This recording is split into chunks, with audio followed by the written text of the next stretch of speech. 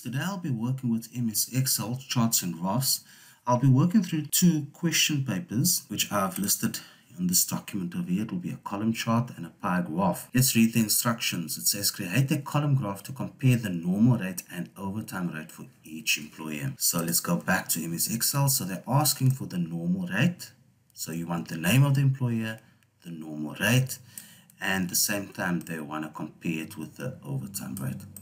So when we highlight, we normally highlight by keeping the left mouse button down and highlighting, selecting the particular text. So I'll be highlighting the name for the last employee, the normal rate the last amount. Keep my finger in control while it is highlighted and I am going to do selective highlighting. Selective highlighting is keeping your finger in control and I'll be highlighting the overtime rate. Now please note that this range should be in equal in line with this range. It cannot be one more cell. If it does give one more cell and I click on insert, I go to charts, it will give me a blank. Why? Because this is one more cell than that. So I'll be highlighting the range and I'll be selecting the other range with keeping my finger in control. I'll click on charts, insert and charts, and they want a column chart. Let's use a clustered column chart in this case and click on OK. Now I'm going back to the instructions. The instructions say display the amount of the charts outside end print. This is a very important instruction. Print the graph as a new sheet. So you can print it as an object and you can print it as a new sheet. So an object would be below the spreadsheet or a new sheet, which I have a sheet one over here with my information here and will be on a new sheet. If I click away from my chart, if I if you look at my chart, there are dots around my chart. These mean this means that it is selected. If I click away from the chart, you see File, Home, Insert Page Layout, Formulas, Data, Review, and View. Once I select my chart, you can see there are two additional tabs that comes up, Design and Format. So we will be using Design and Format to edit our chart. So they have said New Sheet. So can you see Move Chart on the far right? Click on Move Chart. Choose where you want the chart to be placed in a new sheet because that's what the instruction is saying. You can give it a name. I will say column chart. And I'll click on OK. It's not needed to rename it, but I'm just renaming it now. Let's go to the instructions. So I've create a column. I've done that. Insert the following chart titles. If I click on the Excel, you can see chart title over here. I can click inside the text box and I can delete it. Or on your far left hand side under design your far left hand side add chart elements. Is a drop down arrow. This is this is where you're going to do all your editing. It will be your axis titles chart titles data labels legend etc they are talking about the chart title. They're not saying we should move it so it's above the chart which is correct. And the instruction is examination number which will be your ID number comparison and question 1c so it will be examination number. I'm not going to type in any ID number. I'll type it as it is. Examination number press enter. Comparison press enter. And question 1c I click away from it or press escape and that's to insert a chart title. The next one is display the legend to the right hand side. What is the legend? At the bottom you can see its normal rate and overtime rate. As we selected the text was normal rate, overtime rate. So I'm going to click on the chart. So they're saying move the legend to the right. Where do I go? Add chart elements again legend, none, right, top, left, bottom. Currently it is at the bottom. They are saying move to the right. So I click on the right. As we see now, it is moved to the right. the next instruction. Provide the following titles for the X and the Y axis. X axis, name of employee, which is the primary horizontal. The Y axis is amount, is primary vertical. So let's first start with the primary horizontal, which is the x-axis. So we got to add chart elements.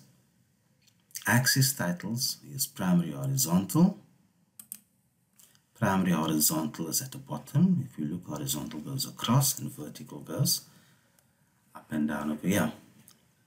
So the instruction is name of employees. I click in the text box. Name of employees. And add chart elements. Axis titles. Vertical. Goes on the side over here. You backspace this and here you need to type amounts.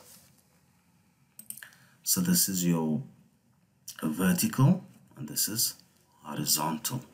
So now instruction number five display the amount of the chart outside end so this is data labels, add chart elements again, your data labels, center, inside out, inside base, outside in, data callout. They are asking for outside end. So I'm clicking on outside end. It's a perfect fit. Nothing is overlapping with each other. Number six, print the graph as a new sheet. So we have placed it already in a new sheet. So what we have done is chart title, legend, we move to the right, your vertical axis and your horizontal axis, name of employees and amounts, and we have done data labels. To print, file, print, and this is on a new sheet. So let's do the next instruction. The next instruction over here is a pie chart. Create a pie graph to display the total wage of each employee. So display the total wage. So let's go back to the sheet where the data is in. So they want the total wage. So they want the employees information, names, of course, and we want the total wage. So we're not inserting the total, it's just the total wage. Click on insert, charts, more charts, all charts, pie chart, and let's use a 3D pie chart. And I click on OK. Let's go back to the instructions. The instruction says create the following chart titles, display the legend to the right hand side, display the amount on the chart outside end, and print as a new sheet. So while I'm over here, I click on move chart. We don't want to move it to a new sheet and I can give the name as a pie chart. I click on OK. Let's move to a sheet and now I need to type in the chart title. Let's go back to the chart title. The chart is examination number, total wage and question 1C. Examination number, total wage and question 1C.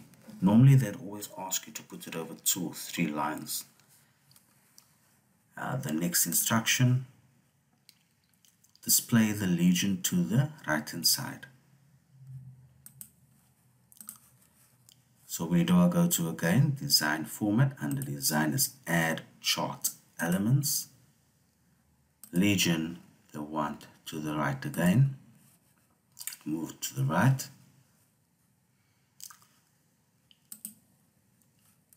last instruction is display the amounts on the chart outside end add chart elements data label and outside in. Last instruction. Print the graph as a new sheet. So click on file print and you will print it on a new sheet Let's go back to the column chart. If you can see under design, these are the different types of design factors. You do not play around with this unless they do ask you to play around. All the important information that you need to use for editing is under add chart elements. Formatting will be changing the font, the shading, the grid lines, etc.